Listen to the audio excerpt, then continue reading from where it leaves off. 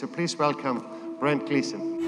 Brent Gleeson is a former Navy SEAL, and Brent joins us San right Diego local businessman. Mr. Brent Gleeson.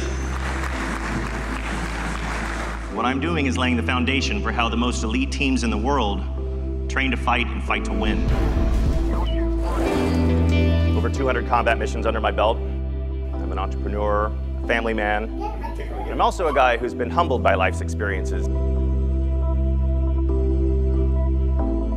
I don't do a speech out of a box. I talk about you know, my journey from corporate America and finance into the Navy to the SEAL teams, and then what I've applied from those learnings to building successful businesses in the business world. Talk about leadership at all levels, teamwork, persistence, adaptation.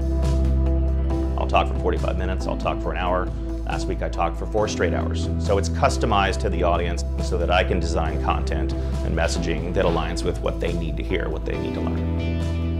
And how groups of driven individuals like yourselves can come together as a team to achieve the seemingly impossible and fulfill your vision.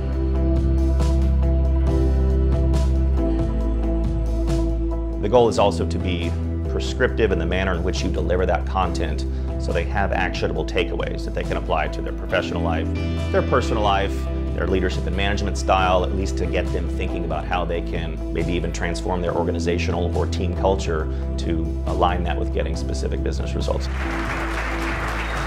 But I also often times like to tie everything together and end uh, an event or a presentation or a speech with something a bit deeper, something more uh, motivational, so to speak, or inspirational that applies also to people's personal lives. To me, this poem is not about death so much as it is about life. Own your battlefield. Ask yourself every day, at what level am I willing to participate on this team and in this life, knowing that there is only one answer, and that's to be all in.